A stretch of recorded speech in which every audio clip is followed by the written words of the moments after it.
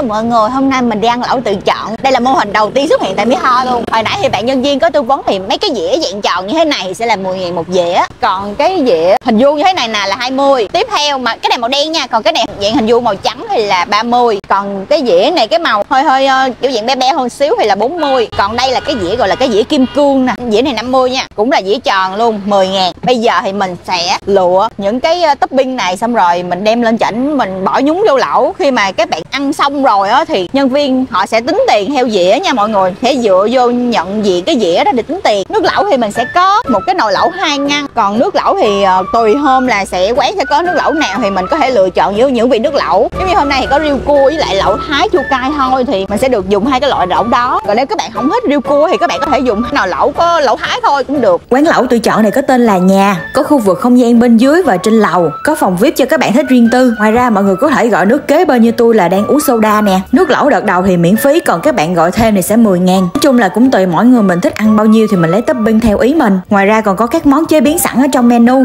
Quán nằm ở trên đường Hùng Vương nói dài. Nếu mà các bạn đi từ cầu Hùng Vương chạy về hướng quảng trường, chạy qua đèn xanh đèn đỏ, khúc này là chạy gần tới cuối quảng trường luôn, nhìn bên tay phải là sẽ thấy một tiệm rất là to.